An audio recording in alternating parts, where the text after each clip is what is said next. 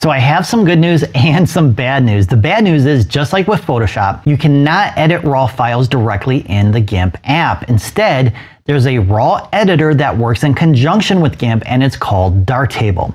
For those of you new to Darktable, it's a free alternative for editing your raw files that is similar to Lightroom and Adobe Camera Raw. And just like with Lightroom, you can manage your images by sorting with labels, stars, and keywords. Plus, it works seamlessly with GIMP. And did I mention it's free? All right, so installing Darktable is super easy to do. And to download it, you're going to go to darktable.org, click on install right here, and choose your operating system to download it. And then you can install it just like any other app. That's it. You now have Darktable installed. So let's go ahead and jump into Darktable and take a look at what it has to offer. So once you have Darktable open, you're going to be in the Lighttable view and you can do a few different things in here. One is importing your images from your hard drive or from your camera.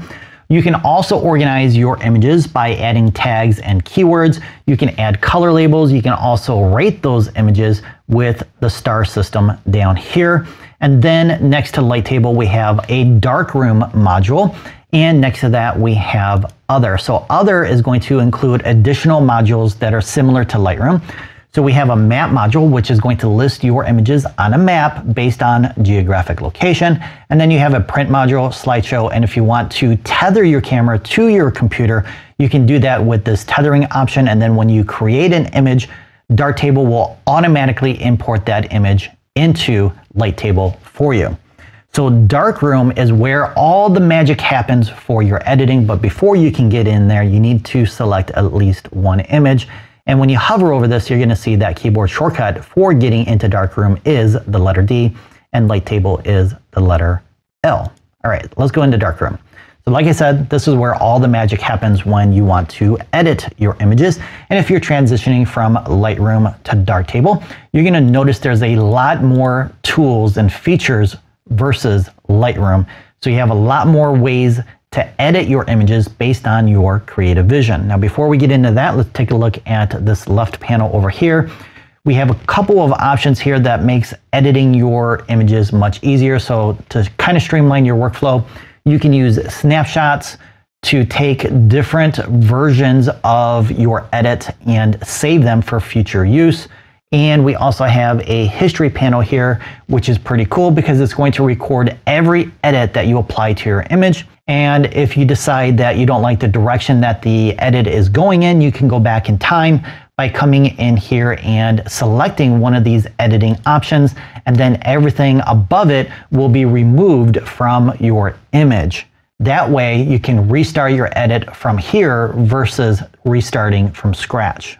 Now over here on the right side, we have our editing tools and they're divided up into different categories. Now there's around 50 to 60, maybe 70 different editing tools that you have available for editing your images. Now, just like with GIMP, you're probably going to use 20% of these tools 80% of the time, and we're gonna cover those later in the course. I'm also gonna show you right now how to customize each one of these panels to only include the editing tools that you'll want to use because personally, I probably use only around 20 of the 60 or so tools available for editing. So I don't like to have the clutter of all these different editing tools that I'm not going to use. So I'm going to show you that in just a second.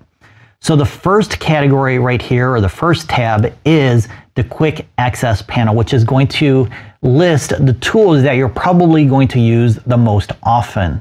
So local contrast, exposure, lens correction, denoise, white balance, and a couple others as well. Now the next module here is going to list all the editing tools that you've used for the image that is currently visible. So as you continue adding more edits and using new tools, they will be listed here. All right, so the next module is the technical editing tools. So this is going to list things like the output color profile, a base curve, the cropping tool, and much more. Now you may notice that there's a lot of editing tools in here that were included in the quick access panel, like exposure and I believe white balance is in here as well. So we can actually hide those so that they're not visible and taking up more room. Again, I'll show you that in just a second. First, Let's take a look at the next category, which is color grading. So you have your split toning, you have color contrast, color correction, shadows and highlights, levels, tone curve, and much more. And then the final module is the effects panel. So you can add things like vignetting, grain, you can convert it to monochrome, and there's a lot of other cool options in here as well. Now, like I mentioned, I like to have each of these panels set up with only the tools that I prefer to use so that my panels are not as clustered as they are right now.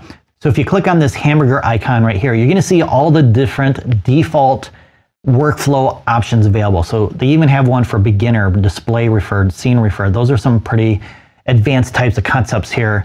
So we're gonna keep this kind of simple and just look at some of the basic editing tools that you may wanna use in your editing workflow. So my workflow here is going to list only the editing tools that I selected. So once I click on that, you're gonna notice there's a lot less tools than there was before. So I'm gonna go back to default here and then back inside because I wanna show you how to create your own workflow or your own workspace. What you're gonna do is click on manage presets. You're going to duplicate the default option that has the majority of the editing tools. So once you do that, you're gonna give it a new name just going to call it new for now. And then from here, you can go ahead and begin removing any editing tools that you don't want to use. Now, if you're just starting out as an editor, you're probably not going to know which ones that you're going to want to use or not use. So you may want to just stick with the default option for now. Now, if you made a mistake and removed something that you didn't want to remove, you can click on the plus icon here, and then you can scroll through and find the module that you want to add back in. So once I close out of this and go back in again, you will then see my new workflow right here. Now, as far as editing your images, it works like any other raw editor. Once you select the tool that you want to use, you just adjust the slider to the left or right, and then it's going to update the preview over here on the left side where your image is, of course. And I just want to point out that you're not actually editing the raw file. Instead, you're editing a preview. So this right here is just a preview of that raw file.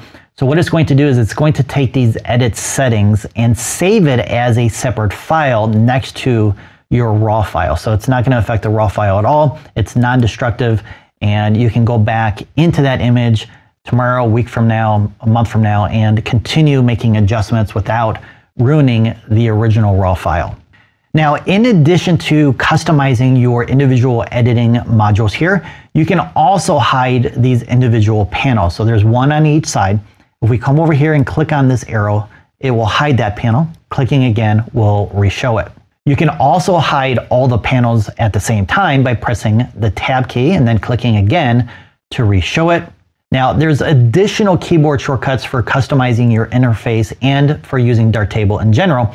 And we're not going to go over all those keyword shortcuts. So to see the list of keyword shortcuts available in Darktable, just hold down the letter H to show all of those keyboard shortcuts. If we scroll down, there's a lot more. All right, once you release H, it will go back to the original interface here. All right, so a couple more things I want to share with you real quick, and that is adjusting the size of the panels. So if we come to the inside of the panels here, we're gonna get this little icon right here, and then you can drag it to the left or to the right to resize the width of the panel. And then for the thumbnail previews down here, come up to the top right here and then drag up or down to resize those thumbnail previews. All right, it's now time to get your images into Darktable so you can start organizing and editing your images. So if you're ready for that, let's do it.